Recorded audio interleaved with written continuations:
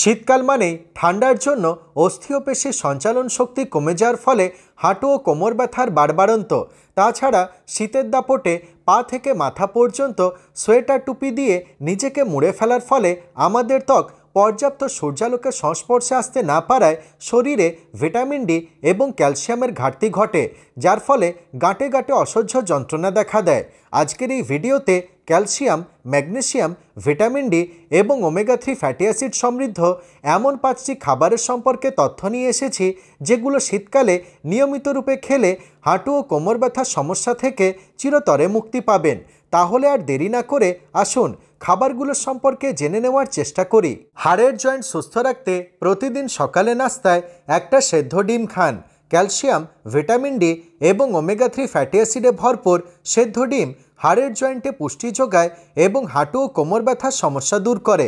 শীতকালে গেটে বাতের সমস্যা দূরে রাখতে প্রতিদিন একটা কমলা লেবু খান। ক্যালসিয়াম, ভিটামিন সি, পলিফেনলস এবং ফ্ল্যাভোনয়েডসে ভরপুর কমলালেবু শীতকালে শরীরে অতিরিক্ত ইউরিক অ্যাসিডের উৎপাদন কমায় এবং গেটেবাতের সমস্যা থেকে মুক্তি দেয়। হাঁটু এবং কোমরের অসহ্য যন্ত্রণা থেকে মুক্তি পেতে প্রতিদিন সকালে ঘুম থেকে উঠে খালি পেটে এক গ্লাস হালকা গরম জলের সঙ্গে পাঁচ গ্রাম কাঁচা হলুদ চিবিয়ে খান।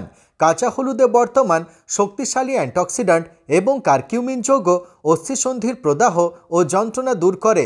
হাড়ের স্বাস্থ্য ভালো রাখতে প্রতিদিন দুপুরে গরম ভাতের পাতে দু চামচ দেশি ঘি মিশিয়ে খান।